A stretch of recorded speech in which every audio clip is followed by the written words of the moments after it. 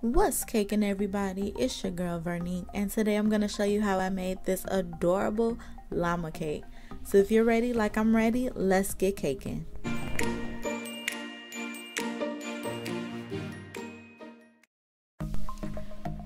For this cake, I made four 8 inch red velvet cakes and I leveled those off. I'm using the cake board that I plan on serving the cake on and I put down some parchment paper because with all the buttercream, it's gonna get messy, and I didn't want to risk moving the cake onto the cake board and messing it up. So as you can see, I am filling it with buttercream and I'm going to crumb coat it and put on a final coat. It's not going to be as smooth because I'm going to cover it with more buttercream and I don't want too much buttercream on there. Now, for the details on the face, I started off with the glasses and I just took some black fondant and cut out some rectangles. And then I cut out the insides to make the frames.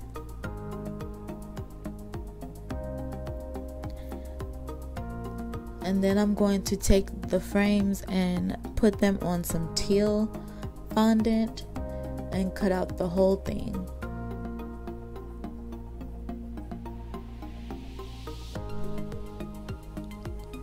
Now, for the, I don't know, like the glare in the sunglasses, yeah, I um, cut some thin strips of white fondant and I formed it into an M, but the M was a little too big, so I cut it so it's more like a Z. but I did that for both of the glasses and set those aside. And I took a punch, a square punch, and punched out some black fondant for the bridge of the glasses. Now I took some white fondant and rolled it out for the face. I'm going to place the glasses on top and cut out the face shape that I want. And then I took some teal fondant and used a punch again, an oval punch, and I formed it into the nose. And then I just rolled out some more black fondant to make the mouth.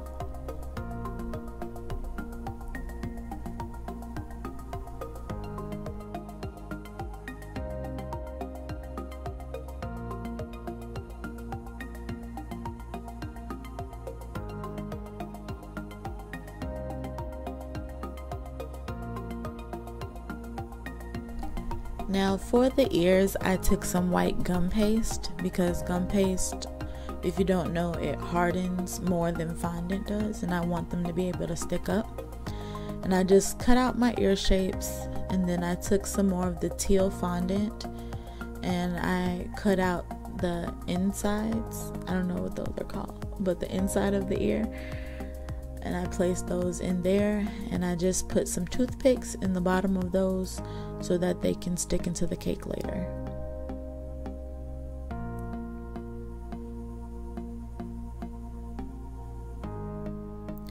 Now for the party hat, I made a template and I cut out a quarter circle shape, I guess and then I formed that around a cone that I made and with a little water I stuck it together and let that dry.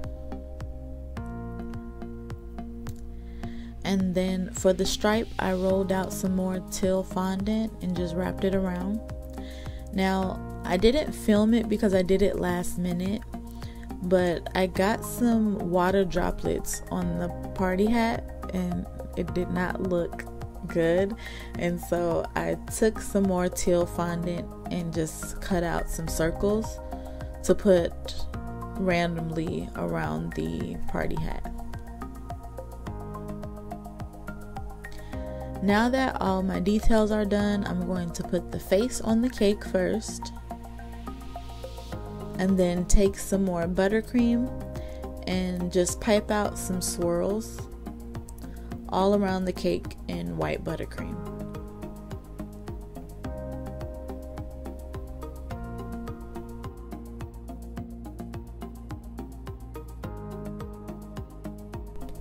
Then I colored some buttercream teal and did a swooped bang for the hair in the front and just went around the cake adding pops of color.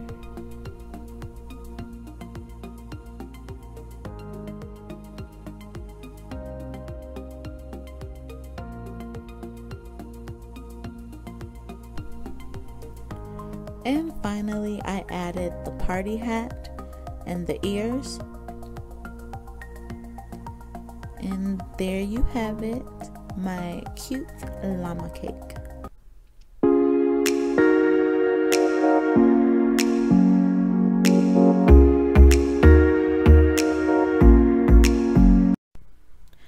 You like this video, feel free to give it a thumbs up and subscribe.